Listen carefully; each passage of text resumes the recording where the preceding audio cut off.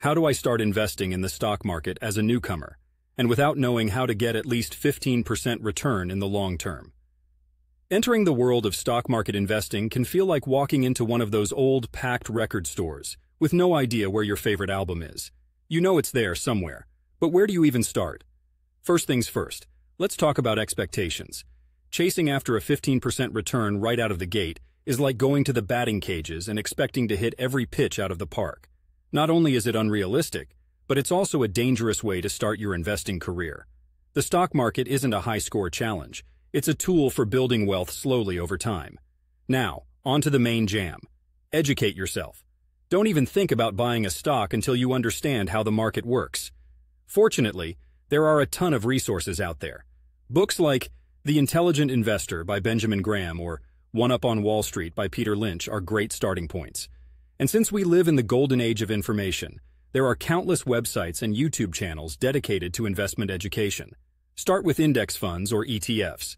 Index funds and ETFs are like getting a slice of the whole stock market pizza, rather than betting on one topping.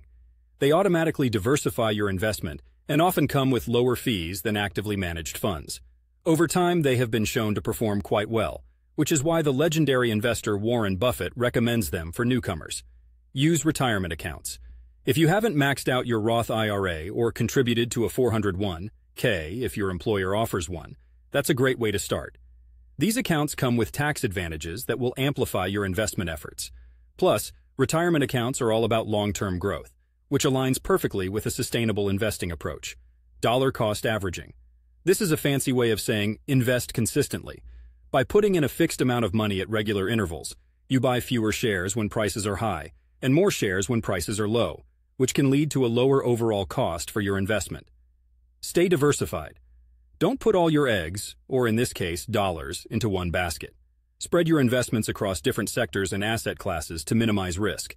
Patience is key. The stock market can be volatile. Prices will go up and down, sometimes by a lot.